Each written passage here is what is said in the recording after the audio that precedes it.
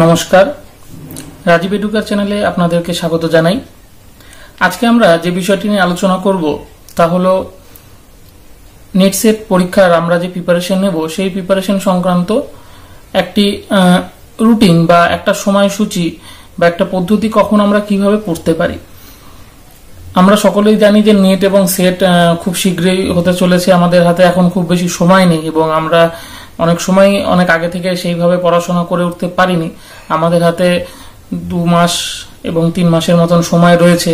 এর মধ্যে আমাদেরকে কিন্তু নেট সেট কোয়ালিফাই করার জন্য নিজেদেরকে পুরোপুরি তৈরি করে নিতে হবে।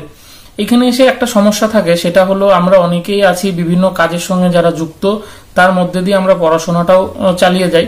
সেই জন্য আমি এই যে রুটিনটা একটা সেট করেছি, তার সেখানে সময়টাকে সেইভাবে গুরুত্ব দেইনি। কারণ হচ্ছে মানে সেটা যার যেমন সুবিধা, সেই হিসাবে টাইমিংটা আপনারা কিন্তু করে নিতে পারেন। যাই হোক আজকের এই ভিডিওটি শুরু করছি। আমরা প্রথম অবস্থায় যেটা দেখেছি যে আমরা কয়েকটা স্টেজে ভাগ করেছি। সময়টাকে সেইভাবে গুরুত্ব দেয়নি প্রথমেই বললাম, কারণ সকলের সেই সময়ের সঙ্গে নাও মিলতে পারে, কেউ বিভিন্ন অন্যান্য কাজের সঙ্গে। আমরা কয়েকটা স্লটে ভাগ করেছি, কীভাবে আপনারা পড়াশোনা করবেন। প্রথম স্লট যেটা আপনাদের প্রথমেই একদম করতে হবে, এটা যদি সময়সূচি হিসেবে ধরে নেন তাহলে আপনাদের সবার প্রথমেই করা উচিত যে একদম প্রথম অবস্থায় সকালে ঘুম থেকে উঠেই আপনারা খবরের কাগজ এবং যে জার্নালগুলি রয়েছে, সেই জার্নালগুলি সম্পর্কে একটু পড়ে নিন। এটার জন্য আপনারা প্রথম স্লট হিসাবে রাখতে পারেন এবং এইখানে আপনারা এক ঘণ্টা সময় দিয়ে রাখতে পারেন। এই এক ঘন্টায় বিভিন্ন জার্নাল আপনাদের যে সাবজেক্ট সেই সাবজেক্ট বেসিসে নতুন কি হচ্ছে এবং নিউজ পেপার এই সংক্রান্ত কি বেরিয়েছে, এই বিষয়ে আপনাদের কিন্তু এক ঘণ্টা সময় অবশ্যই প্রত্যেক দিন দিতে হবে। এরপরে আপনারা দু ঘণ্টা সময় রাখুন দ্বিতীয় স্লটে পেপার টু পড়ার জন্য। সেখানে আপনাদের পেপার টুর যে পুরো অংশটি রয়েছে, আপনারা বিভিন্ন দিন বিভিন্ন যে ভাগগুলো রয়েছে, দশটা ইউনিট বা কারও সাতটা ইউনিট পাঁচটা ইউনিট করে রয়েছে, সেই ইউনিটগুলোকে আপনারা বিভিন্নভাবে রাখুন। রেখে সেই ইউনিটগুলোকে পড়ার চেষ্টা করুন দু ঘণ্টা। এই দু ঘণ্টা মোটামুটি আপনারা যদি সময় হিসেবে ধরেন আটটা থেকে দশটা অবধি করে নিলেন, নেওয়ার পরে আপনারা একটু ব্রেক নিলেন এক ঘণ্টার ব্রেক নেওয়ার পরে আপনাদের তৃতীয় স্লটটি শুরু করুন। এইখানে আপনাদের তৃতীয় স্লটে আপনারা ফার্স্ট পেপার পড়ুন, কারণ প্রথম থেকে আপনারা সেকেন্ড পেপারটি পড়ে আসছেন।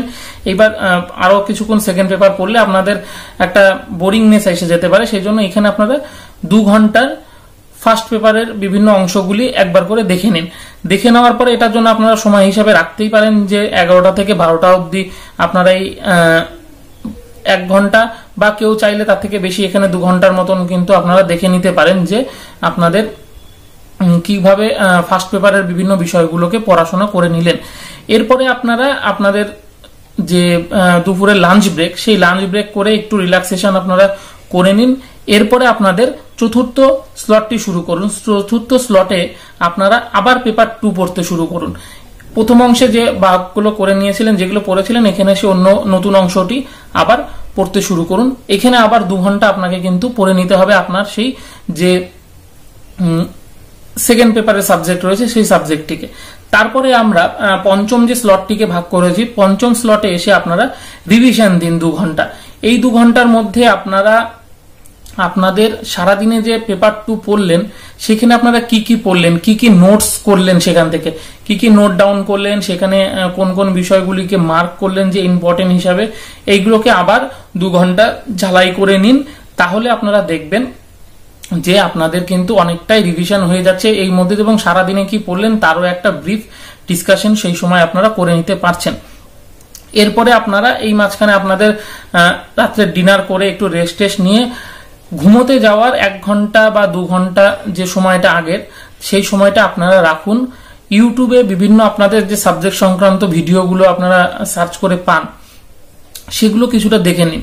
কারণ দেখুন, আপনি শুধুমাত্র বই রিডিং পড়ছেন, এর মধ্যে দিয়ে কিন্তু সমস্ত যে নলেজ গেন করা সেটার সঙ্গে সঙ্গে একটা যে লেকচার ক্লাস বা বিভিন্নভাবে আমাদের ইউটিউবের মধ্যে বিভিন্ন টিচাররা বিভিন্ন কিছু বুঝিয়ে দেন বিভিন্ন, তারা প্রেজেন্টেশন করেন, বিভিন্ন রকম ভাবে তাদের অ্যানিমেশনের মাধ্যমে বা তাদের ক্লাসের মাধ্যমে, সেইখানে আপনার টপিক রিলেটেড যদি কিছু পান সার্চ করে দেখে সেই বিষয়গুলিকে বারবার দেখে নিন এবং সেখান থেকে যদি কোনো আপনারা পয়েন্ট পান, সেই পয়েন্টগুলোকে আপনারা কিন্তু অবশ্যই সেইখানে লিখে নিন। এটা আপনারা ঘুমোতে যাওয়ার আগে দু ঘণ্টা করে নিলেন।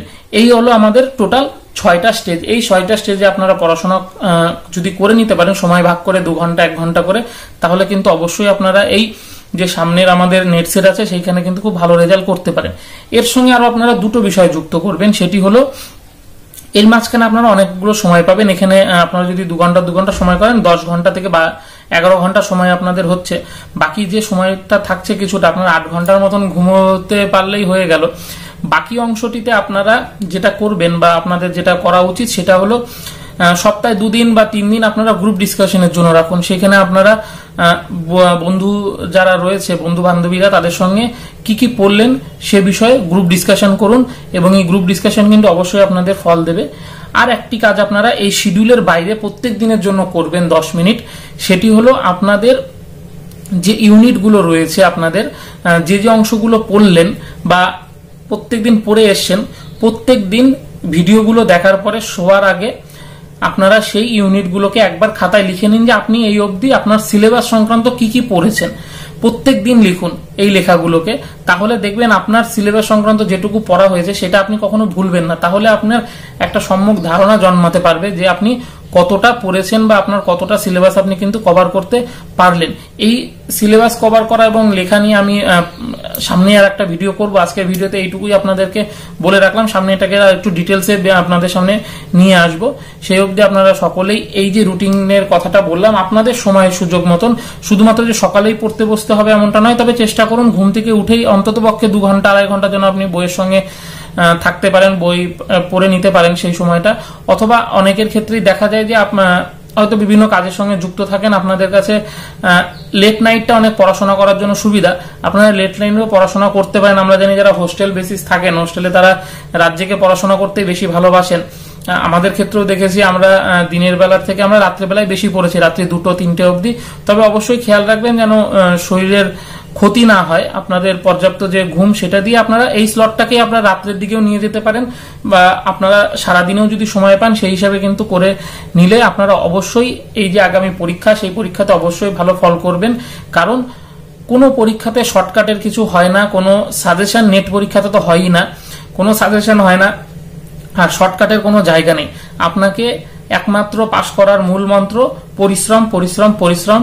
পরিশ্রম যদি ঠিকঠাকভাবে করতে পারেন সাবজেক্ট যদি ভালো করে পড়তে থাকেন এবং সাবজেক্টের যে ডেপ সেটা যদি আপনার মধ্যে তৈরি হয়ে যায়, তাহলে যে কোনো প্রশ্ন আপনি সঠিক উত্তর করে আসবেন এবং পরীক্ষার সময় যে সমস্ত প্রশ্নগুলি আপনি আইডিয়াতে দেবেন বা আপনার হয়তো সম্পূর্ণরূপে জানা নেই, সেই আইডিয়াগুলো ঠিক হওয়ার জন্য কিন্তু আপনাকে যত বেশি পড়বেন, তত বেশি আইডিয়ার প্রশ্নগুলো ঠিক হবে আপনাদের কাছে। সেই জন্য অবশ্যই পড়ুন এবং একটা রুটিন ফলো করে নিন, এরকম স্টেজ ভাগ করে, সেই স্টেজ ভাগ করে রুটিন হিসাবে আপনারা পড়াশোনা করুন, তাহলে অবশ্যই রেজাল্ট ভালো হবে।